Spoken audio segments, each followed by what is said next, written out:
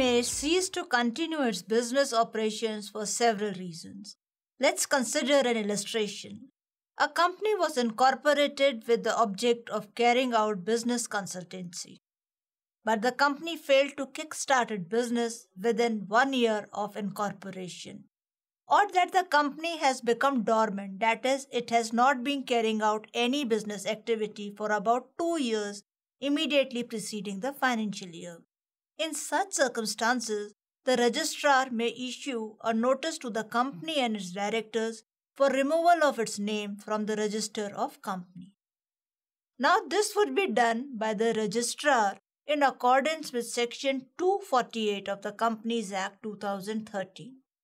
The registrar of companies ROC after apprising all the consequences goes ahead with the removal and publishes a notice of removal in the official gazette. After that, the company remains dissolved from the date mentioned therein until and unless it is revived by the operation of law. The Ministry of Corporate Affairs has also introduced something called Fast Track Exit or FTE mode. It enables a defunct company to have its name struck off from the register after extinguishing its liabilities and complying with certain formalities. While this is one instance of company's exit, winding up is another way of putting an end to company's activities. This may be due to several factors like inadequate capital, fraudulent business practices, incompetence or deadlock in the management, obsolescence of the business itself, etc.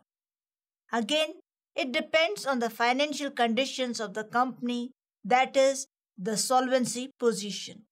Just as company comes into existence through a legal formality called incorporation, its activities cease and the company's life come to an end through a process called winding up. So winding up is a legal process of realizing the company's assets and paying off the debts of the company expeditiously and fairly. And once the winding up process is complete, the company is dissolved, or in simpler words, the company does not exist anymore. However, the process of winding up involves a lot of technicalities and procedure.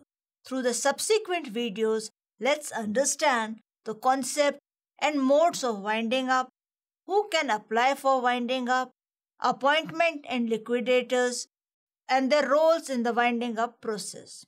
We have developed this course keeping in mind the syllabi of law schools across India. Additionally, this course will be useful for CSCS students, examinees, as well as for BCom, BB, and MBA students.